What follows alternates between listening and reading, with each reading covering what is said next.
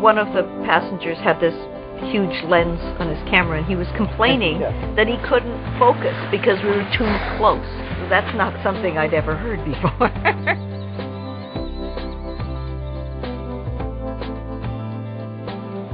I've seen so many times crew members be even more jazzed that we, the passengers, are excited about what's going on, and that they can do something to make our experience even better. That just pumps them up another notch. It's really exciting to be around people like that who are that engaged with what they're doing and are as excited to be where they are as you are. You know, I think I just uh, ter- used the term breathtaking all my life, and I think I really know the meaning of it now. Effortless comfort. You come on board, and and it's like coming home.